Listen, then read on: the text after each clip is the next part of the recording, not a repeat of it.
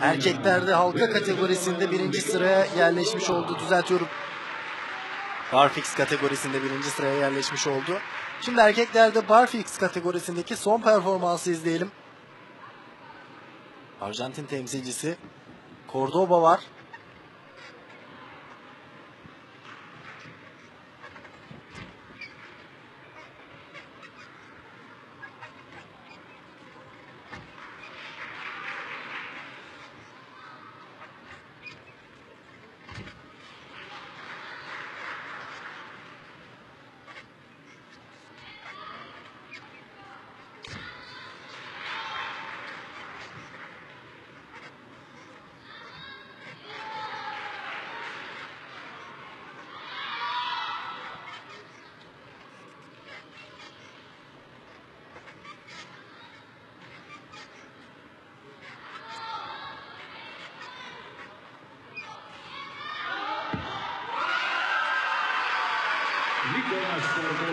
Nicolas Cordoba.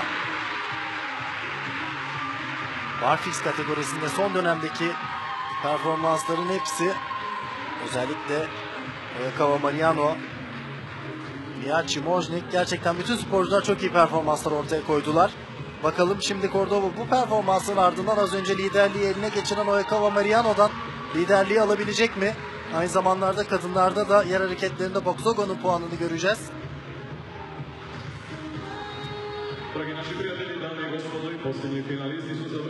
Tüm performansları Sports TV ekranlarında tamamlamış olduk.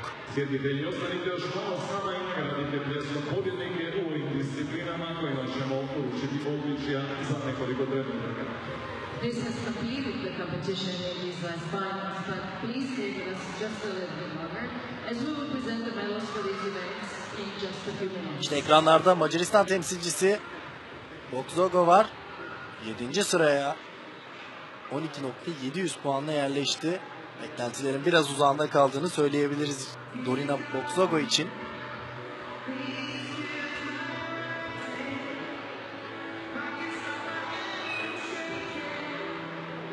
Böylece Sports TV ekranlarında tüm performansları da tamamlamış olduk.